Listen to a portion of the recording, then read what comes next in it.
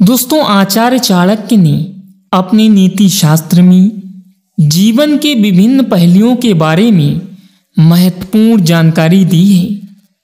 दोस्तों, चाणक्य की इन नीतियों पर चलकर आप जीवन में आने वाले बिन बुलाई समस्याओं से बच सकते हैं और एक सुखी एवं सम्मानजनक जीवन व्यतीत कर सकते हैं। दोस्तों, आचार्य चाणक्य ने नीति शास्त्र में स्त्रियों के बारे में भी महत्वपूर्ण बातें बताई हैं। दोस्तों, नीति शास्त्र में कुछ ऐसी महिलाओं के बारे में बताया गया है, जिनसे किसी को भी हमेशा दूरी बनाकर रखना चाहिए।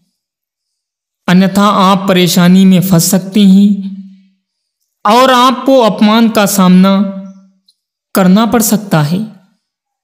तो आइए दोस्तों, आज के इस वीडियो में जानते हैं कि वे कौन सी स्त्रियाँ हैं जिनसे हमेशा दूरी बनाकर रखना चाहिए।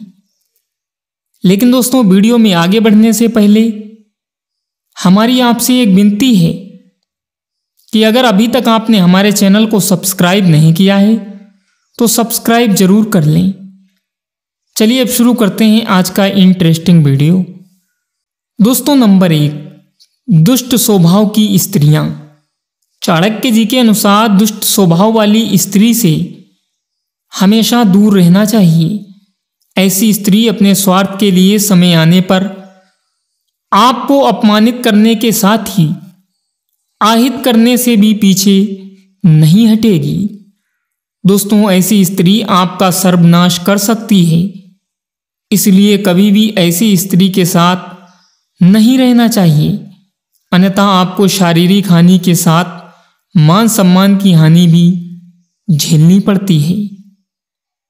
दोस्तों, नंबर दो, कुसंस्कारी स्त्री। चाणक्य जी के अनुसार जो स्त्री संस्कारी ना हो, उससे सदैव दूरी बनाकर रखना चाहिए।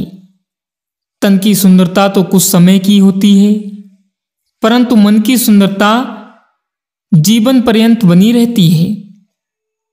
इसलिए दोस्तों, यदि कोई स्त्री तन से सुंदर नहीं है, परंतु वह सुशील और संस्कारी है तो ऐसी स्त्री के साथ संबंध रखने में व्यक्ति सदैव अपने जीवन में मान सम्मान प्राप्त करता है।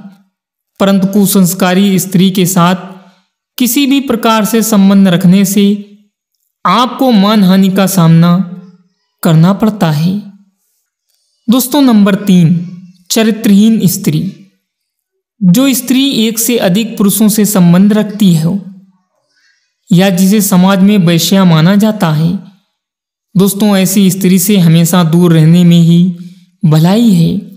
ऐसी स्त्री के घर का भोजन करना भी पाप की श्रेणी में आता है। धूम्रपान और मदिरापान करने और बुरे कर्म में लिप्त स्त्री से बहुत दूर रहना चाहिए। ऐसी स्त्री के कारण आपको समाज में मान हानि का सामना करना पड़ता है। इसके अलावा आप बड़ी मुसीबत में फंस सकते हैं। इसलिए दोस्तों, ऐसी स्त्री को देखते ही वहाँ से हट जाना चाहिए, अन्यथा आपको कोर्ट कचहरी के भी चक्कर काटने पड़ सकते हैं। और दोस्तों लास्ट पॉइंट है स्वार्थी और लालची स्त्री।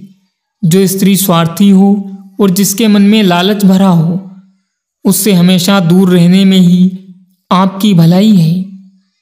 ऐसी स्त्री अपने लालच और स्वार्थ के कारण आपसे जुड़ती है और अपना मतलब पूरा होने के बाद आपको छोड़कर चली जाती है।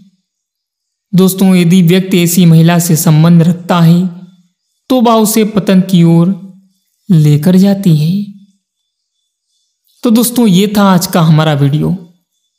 हम आशा करते हैं कि आज की जानकारी आपको पसंद ज़रूर आई होगी।